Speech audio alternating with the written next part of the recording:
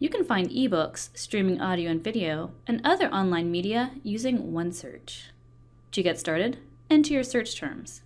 I'm looking for online books and media related to the gold rush. Choose the Books and Media CSUF search. Once you have your results, select Full Text Online. This will filter your results to items that are available online through the library, including audio and video. Great, now our first two results are labeled as books, but have an online access link. That means that these are actually ebooks. Click that green link and can read them online immediately. This book, The Nature of Gold, has both a physical location and an online access link.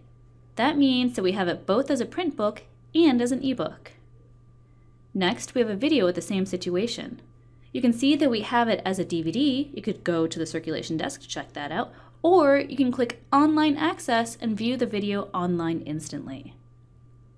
Please keep in mind that the library licenses ebooks and streaming audio and video from a variety of sources, so features do vary by platform.